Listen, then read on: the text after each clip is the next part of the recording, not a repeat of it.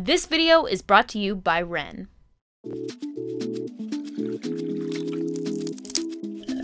What's up, guys? Helen here to talk about TV's oddest, greatest buddy comedy, Rick and Morty. The show has long reveled in absurdity and so crazy it's brilliant creativity. Still, its latest offering, Rick and Morty's Thanksploitation Spectacular, managed to surprise us with a bizarre plot featuring plenty of turkey on turkey violence. Blueberries! We got blueberries down! Hold your positions, it's a feeding frenzy! I can't see. But is there any depth beneath all the foul play?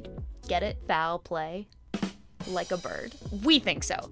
And we'd argue it has everything to do with the show calling BS on America's own self mythologizing. We'll explain in this wisecrack quick take on Rick and Morty why Thanksgiving is a lie. But before we get into it, I want to give a shout out to this video sponsor, Wren. Now, I don't know about you guys, but the constant bad news about climate change sucks. And the worst part is that I feel like there's nothing I can do about it. And this is where Wren comes in. Wren is a website that helps you calculate your carbon footprint and then shows you how you can offset your footprint by funding projects that do things like plant trees and protect rainforests. Rather than just feeling bad about the climate crisis, with Wren, you can actually do something about it, all without having to spend all day outside getting sweaty and dirty while planting trees. All you have to do is answer a few questions about your lifestyle, and Wren will calculate your carbon footprint and help you reduce it. Now, as much as I've tried, no one can reduce their carbon footprint to zero, but you can offset what you have left after reducing it on your own, because you're already trying to reduce your carbon footprint on your own, right?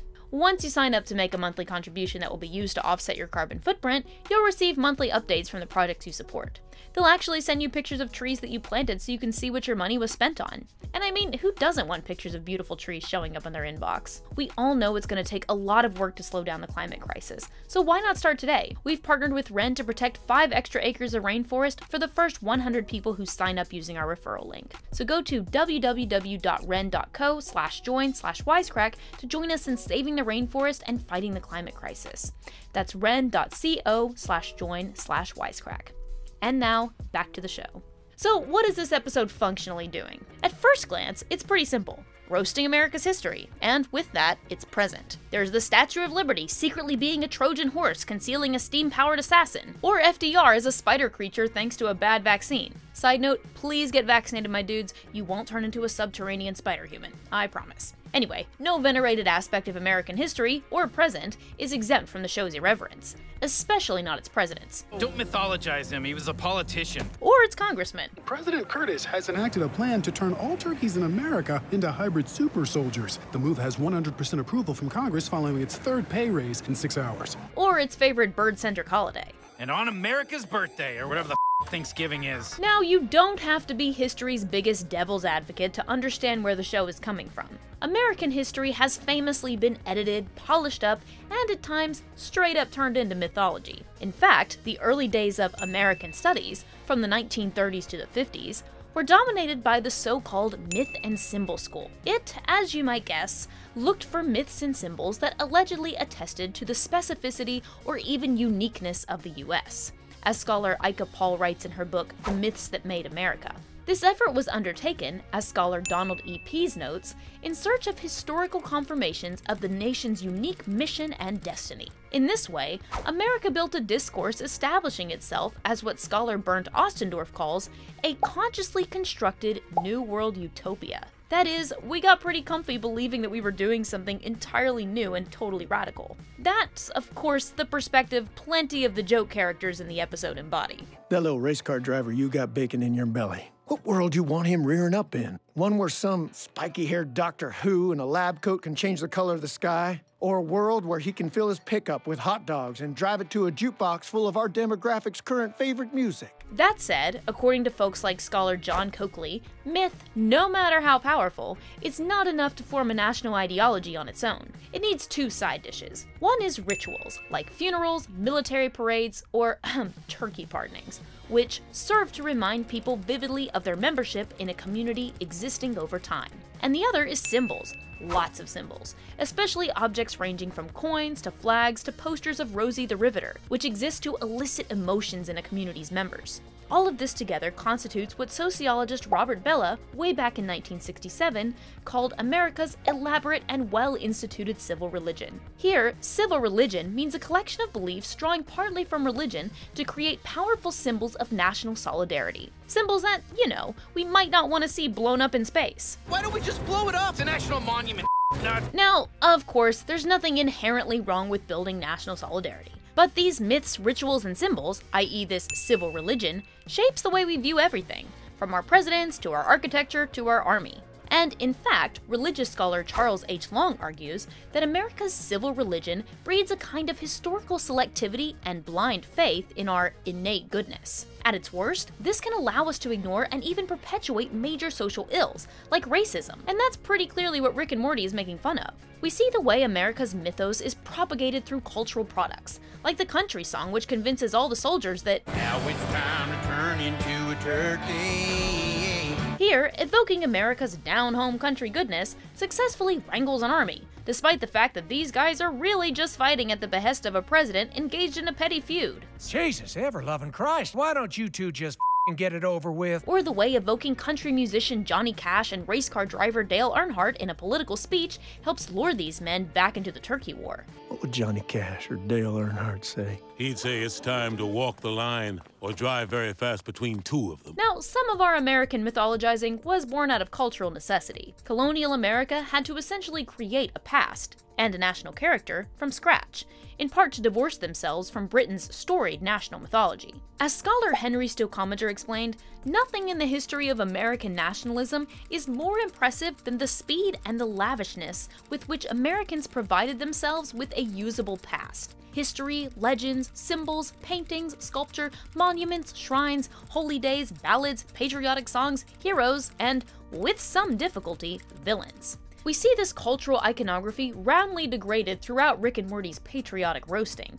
Even the villain part, here mocked in the constant refrain about terrorists. You know, you use that word so much it's lost all meaning, Mr. P. As Paul writes, even as we have come a long way since the beginnings of the myth and symbol school, the entanglements between historical myth and contemporary ideology are as complex as they have ever been. We see this in the way one soldier, before being Turkified, evokes a noble call to duty that sounds like World War II era propaganda. That world needs a few good men in a secret Pentagon lab turning into turkeys. At the same time, the show critiques the far less savory realities of modern American warfare, which are often left out of the mainstream discourse. Whose side are we on? I don't know, but we've done enough to pay for college. In the post credit scene, we even see a veteran suffering from blueberry induced PTSD and lacking adequate healthcare shrug off the president's failure to help him. Ain't his fault our insurance got cut. They gotta build missiles. But before you go and pick up a Canadian passport, it's worth pointing out America isn't alone in its proclivity for myth making. Every country relies on cultural mythos, for reasons we'll get into. There's the way composer Richard Wagner's operas were used to rally German patriotism during Hitler's reign, or the way writer Alexander Pushkin helped define Russianness after the Napoleonic Wars. And even the way history is told fosters strong national identities. This makes sense. History, as it's practiced today, grew out of 19th century academia, a deeply nationalist period of Western history when countries like Italy and Germany were uniting several regional states under one national flag, while countries like Greece, Serbia, and Poland participated in revolutionary uprisings against the Ottoman and Russian empires. The result was that each country pretty much developed their own specific nationalist history, and that includes America's conception of itself within the 17th century puritanical paradigm of an explicitly Christian city on a hill. While these national perspectives have certainly been called into question by many historians, it hasn't vanished from the field. As historian E.J. Hobsbawm explained back in 1992, historians without a past are contradictions in terms. What makes a nation is the past, what justifies one nation against others is the past, and historians are the people who produce the past. Now, the fields of history and American studies have both, in recent decades, been complicated by new schools of thought that question these prevailing narratives. For Rick and Morty's part, Summer pipes up at one point, sharing a far more skeptical perspective about American history. Oh wow, wiping out a native population on Thanksgiving? That's never happened before. What did you just say? Still, the show argues that much of the nationalist myths propagated over centuries continue to stick around in our cultural psyche. Rick and Morty also suggests that the resulting mythologies many of us share about America are just as random and absurd as the idea that Thanksgiving was won by alien pilgrims and Native Americans who secretly got along. No, wait, They love each other. This moment might also be explicitly critiquing the very real mythos about Thanksgiving, which posits peaceful corn sharing relations between white settlers and Native Americans, rather than, you know, a lot of genocide.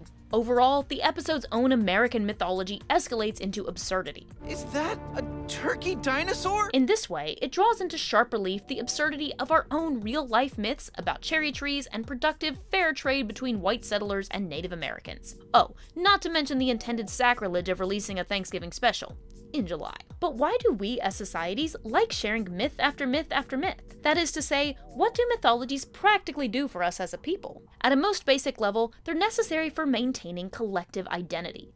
They provide a given society with a sense of coherence and continuity. But it goes deeper than that. Scholar Roland Barthes argues that myth functions literally as a sort of language we can all share in, what historian Lila Danielson describes as a mode of communication that disguises something that is contingent and socially constructed as natural and timeless. That is to say, myths treat America as the only possible outcome of history, rather than as a very carefully constructed human made reality. And this sort of historical mythologizing can change the way a country feels entitled to behave. For example, the sense of a timeless, exceptional America has, historically, arguably made it possible for the country to justify lots of gnarly things, like unnecessary invasions of the Middle East or overthrowing democratically elected governments in Latin America. After all, if we're the greatest, our actions must be justified, right? This Rick and Morty episode underscores the importance of mythology and symbols in keeping society coherent, and in creating a shared language for our nationalist impulses. Heritage destroyed. Moments like this suggest the importance of collective symbols in sustaining society as we know it. And at the end of the episode, we also see the risk a society faces when its myths get busted. After seeing everything he knew about America be upended, Morty comments, I always thought we were more special than that. Like we invented everything and did everything, and that's why we own everything. Now I, I, I don't know what to feel. Here, he's lost the comforting language of the mythology he was raised on. The president offers a toothless, Feel thankful, Morty. Feel thankful. What Morty's facing is the destabilizing reality that America isn't what he thought it was. It's just like any other nation built on a foundation of myths and narratives, rather than on any real moral exceptionalism. And having had my own mind blown listening to Howard Zinn's People's History, largely because of Matt Damon's stellar narration, I know that's a lot for anyone to take in. But what do you guys think? Did Rick and Morty roast Thanksgiving like it's a prize turkey? Or is there still value in our national mythology? Let us know in the comments, and please don't get too angry at us. Big thanks to our patrons for all your support, hit that subscribe button like it's a superhuman turkey warrior, and don't forget to ring that bell. And as always, thanks for watching. Peace.